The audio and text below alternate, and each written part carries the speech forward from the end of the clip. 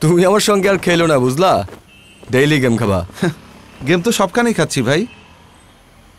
বুঝলাম না। অফিসে কোনো ঝামেলা? নাকি নতুন ব্যবসা ট্যাবসা ধরছো?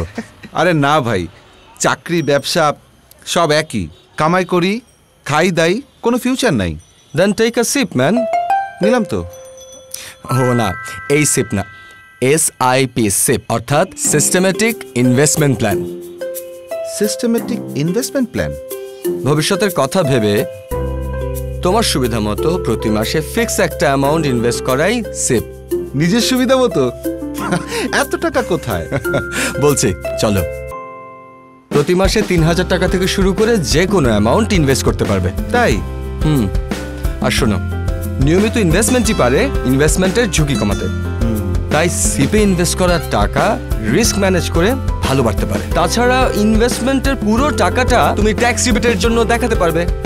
আর সিপের সাথে ইন্স্যুরেন্সও নিতে পারবে খুবই অল্প প্রিমিয়ামে IDLC systematic investment plan SIP সম্পর্কে জানতে কল করুন one six four zero nine অথবা visit AML dot IDLC dot com